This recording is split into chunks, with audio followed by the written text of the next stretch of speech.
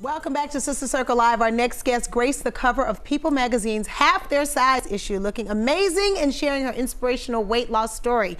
She tipped the scales at 407 pounds, and today she's 217 pounds lighter. Mm. Please Wow. welcome health and fitness coach Laura Calbert. Yeah. Yeah! Yeah! Come on, come on. And now. Come join Come us. on through. Come on in the room. Yes. You want to give us all of your legs? Come on now. Come on now.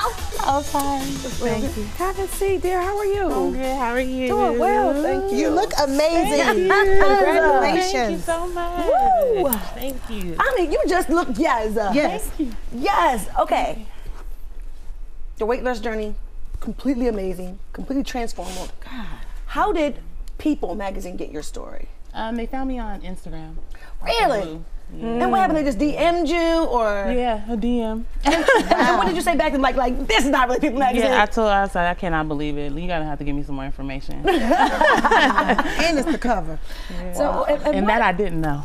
You look beautiful. by the way. I mean, stunningly gorgeous. Thank you. At what age did you realize that you were a bit overweight and this was an issue for you?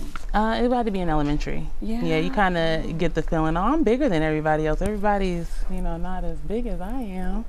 So it had to Yeah. be then. And uh, um, you, it's, you know, the weight weight issues, they span from many different reasons. Yeah. One of the issues that you suffered with was alcoholism. Yeah. Um, talk to us about how that played a role in you gaining weight and what you had to do mentally and emotionally to kind of get through that hump in order to be the woman that you are right now sitting here with us. So and the alcohol played a role. Of course, we know that it's you know sh- nothing but sugar anyway. Yeah. That's it, huh? But then after that, it triggers eating more. You know, you just want to eat, eat, eat, eat, eat, eat, eat, eat, you know, to feed that liquor. So, you know, it was like fast food and, you know, going to the foods that, Yeah. you know, I Because didn't you, because you talked about how you would go, you could go through on the drinking side, a, Oh, yeah. a fifth of liquor a day. Yeah. Oh, girl, you were very busy. Yeah. Yes, I was. yes, I was. And still, you know, go to work the next day. So the functional Yeah. alcoholic Yeah. is what they call it. Do you feel like it was soothing for you? Y- Oh, yeah, sorry. yeah, Yeah, no, no, no, no. Okay, absolutely, yeah, yeah. yeah. Um, it would mask and hide a lot of things that I was already going through. Yeah. You know, you mm-hmm. just want to forget and kind of just, you mm. know, and for that moment, I mm-hmm. would, but it'll all come back. Yeah, it would all come mm-hmm. back. Well, you had a small heart attack at age 26, but you didn't go to the hospital right away. No. So, you, did you not know it was a heart attack at first, or you just didn't really care at that time? So, what was going through your? Really? So, can you, can you walk us through that story? Yeah, so you know, I was at home with someone that I was dealing with, and I started to hyperventilate. My breathing started to get erratic, and mm-hmm. then my blurry, my vision started to become blurry, and then I mm-hmm. started getting tight in the chest. And he's like, "You need to go anywhere somewhere," and I'm like, "No." I went outside on the balcony, thinking, "Oh, air is gonna be okay. You know, I'm okay." And then I got found myself on the balcony, and I'm like, "I don't even care anymore." Wow. Ooh, were you in denial? I Probably like, yeah, dealing with a lot of that, and then depression at the time. So I really, at a point, I was like, I, I'm ready to give up. Yeah. You know, you told People magazine, despite even having the heart attack, that still didn't wake, wake you up. What truly woke you up was one day you were at the grocery store and a little girl was with her dad and she said, Hey, dad, look, she's fat. Yeah. Oh no. What was it in her words that kind of ignited you to say, I got to make a difference? I have to make a change? it was a trigger. It was definitely a trigger of something that I already knew within. It was just like the straw that broke the camel's back.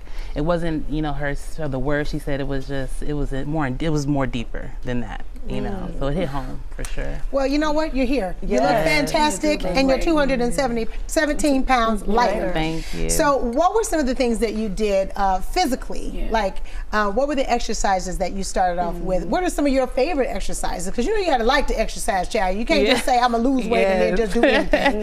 So, what were some of the things that you did to kind of uh, lose the weight? So in the beginning, it was a lot of cardio, Mm-hmm. um, and then as I, you know, went through my journey, I learned that I needed to do more weight. So Mm-hmm. I'm like weight, strength legs training, look good. everything. Yeah, Thank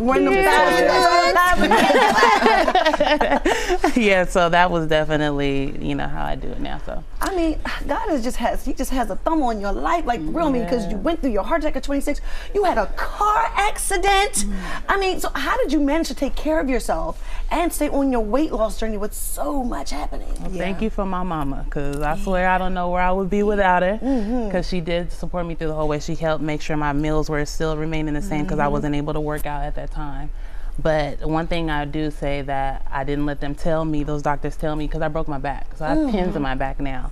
But I didn't let the doctors tell me that I couldn't work out anymore because they were telling me, oh, yeah, there's only limited workouts that you can do.